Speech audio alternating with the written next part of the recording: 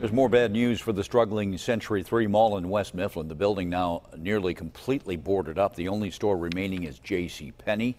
The closures come after a bankruptcy judge allowed the owners to borrow $5 million. No word from the owners on what their plans are.